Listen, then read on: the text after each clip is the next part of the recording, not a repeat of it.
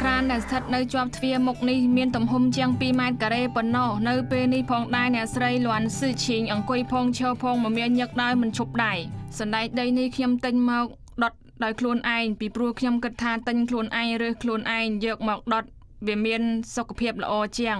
អ្នកស្រីលួនស៊ឺឈីងជាជនជាតិវៀតណាមខាងជើងដំបូងគាត់មកសិក្សានៅតៃវ៉ាន់មិននឹកស្មានថាគូព្រេងគាត់ដល់ក៏រៀបការជាមួយស្វាមីជនជាតិតៃវ៉ាន់ចាប់ពីស្គាល់គ្នារហូតដល់រៀបការស្នេហាពួកគាត់ក៏ធ្លាប់ឆ្លងកាត់លំបាកដែរម្ដាយក្មេងខ្ញុំមិនសូវយល់ស្របទេចំពោះកូនប្រុសគាត់ទៅដណ្ដឹងប្រពន្ធជនជាតិបរទេសម្នាក់ម្ដាយក្មេងខ្ញុំដំបងមិនយល់ព្រមឲ្យពួកយើងរៀបការទេឯ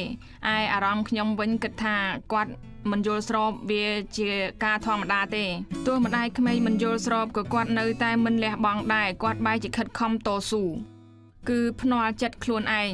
ខ្ញុំត្រូវតែធ្វើឲ្យម្ដាយខ្ញុំយល់ព្រមពីព្រោះម្ដាយខ្ញុំថាខ្ញុំទាំងពីរមិនអាចទេគ្មានទេអាច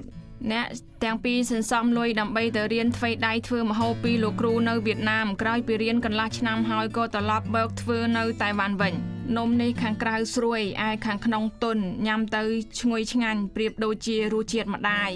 ម្ហូបនៅក្នុងហាងនេះសុទ្ធតែជារសជាតិម្ហូបមកពីវៀតណាមតែក្នុងនោះដែរក៏មានម្ហូបមួយដែលមកពីខេត្តជីចាំង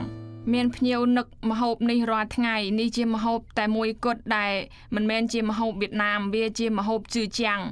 ម្ហូបនេះខ្ញុំរៀនមកពីម្ដាយក្មេងខ្ញុំ នេះជាម្ហូបដែលប្តីខ្ញុំចូលចិត្តបំផុត ស្នេហាផ្អែមល្ហែមរបស់ពួកគាត់ព្រមទាំងស្នាមញញឹមរបស់ថកែស្រីធ្វើឲ្យហាងគាត់កាន់តែរីកចម្រើនទៅចម្រើនទៅ